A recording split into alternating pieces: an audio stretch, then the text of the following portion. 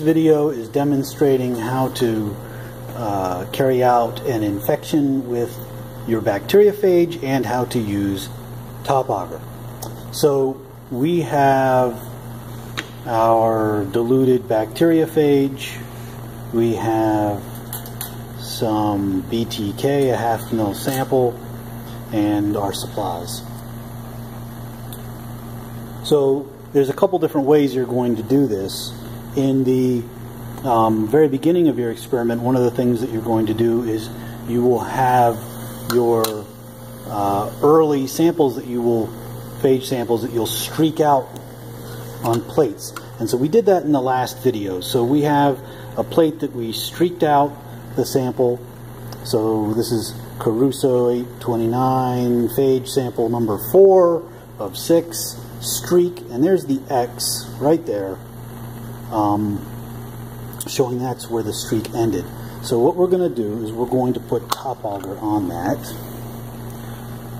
So we have the top agar. What you don't want to do when you use top agar is bring them to your desk in advance. You have to get them one at a time.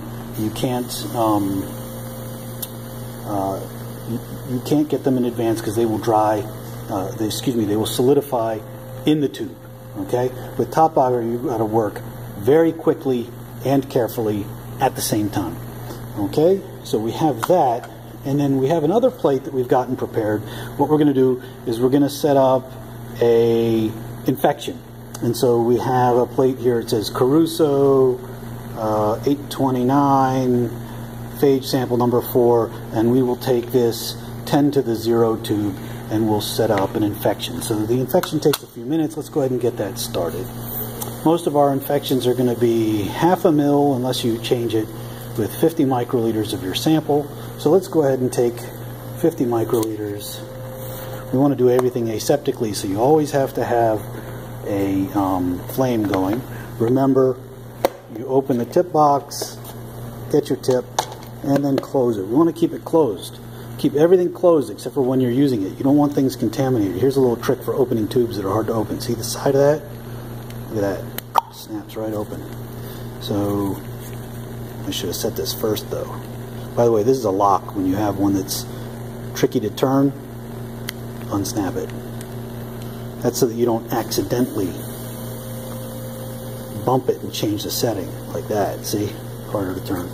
So 50 microliters. Here's our 10 to the 0. We're going to add it. Get rid of the tip. Should have passed it through a flame. Quick vortex, and now it needs to sit, right? Okay. Done with that. Alright. So now we've got our plates. They've been labeled. So we're ready to go. So this one is the dilution, so we're not ready for that one. This one's got the phage already streaked on it. We did that in the last video. So we now need a top agar. So let me grab that. So here's the top agar. I'm going to take the cap off. We don't need it anymore. We're going to throw this away. There's the X right there. So what we're going to do is we're going to pour it on the X. And we're just going to let it very gently cover the plate. swirl it around until any air bubbles, bubbles holes are covered. And that's it. That's all there is to it. This is trash. This we keep.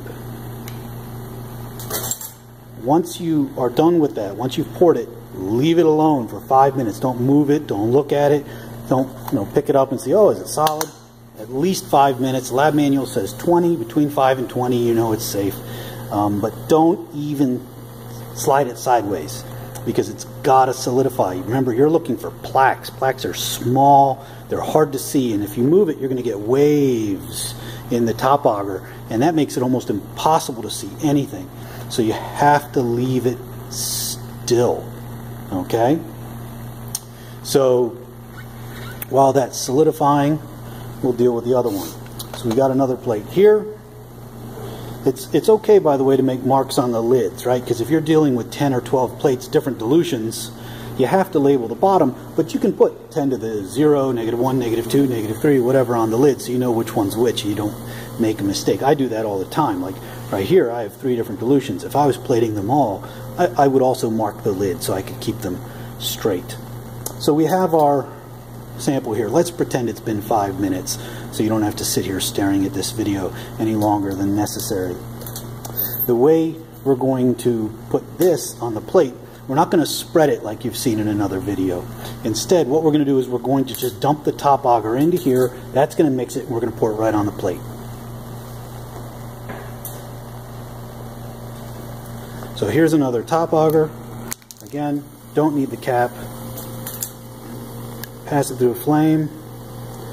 Dump it right in. Always dump, add top agar to the sample, not the other way around. Add big to small. We're going to pour this in.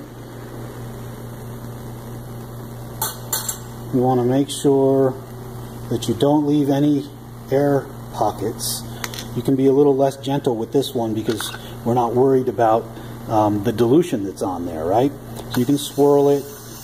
You can move it back and forth to get rid of the, the air pockets. You want it completely covered, but once it's covered, put it down, leave it alone. Five minutes later, or 10 minutes later, if you want to go clean things up, you're done. You'll be able to flip them over. They are all set. And that's it. That's all there is to it. Not a big deal. Remember, caps we keep. These tubes, these tiny little tubes, are disposable. We will give you other tubes sometimes that are not disposable, that are bigger and thicker, but uh, mostly we'll be using these small disposable tubes that are trash. We keep the caps though. And that's all there is to it.